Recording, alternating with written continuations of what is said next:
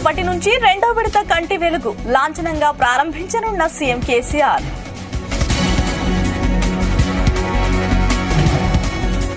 Khammam BRS సభకు ఏర్పాట్లు పూర్తి. హైదరాబాద్ చేరుకున్న సీఎంలు కేజ్రీవాల్ భగవంత్ మాన్ సింగ్. అధ్యక్షుడిగా నడ్డా పదవి మరో ఏడాది పొడిగింపు. జూన్ ఇరవై నాలుగు వరకు ఉంటారన్న అమిత్ షా.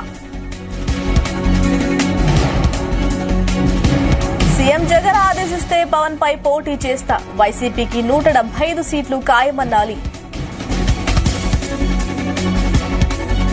జీవో నెంబర్ ఒకటిపై సుప్రీంకోర్టుకు ఏపీ సర్కార్. ఇప్పటికే జీవోపై స్టే ఇచ్చిన ఏపీ హైకోర్టు. కామారెడ్డిలో మరో రైతు ఆత్మహత్యా యత్నం. మాస్టర్ ప్లాన్లో భూమి పోయిందని మనస్తాపం.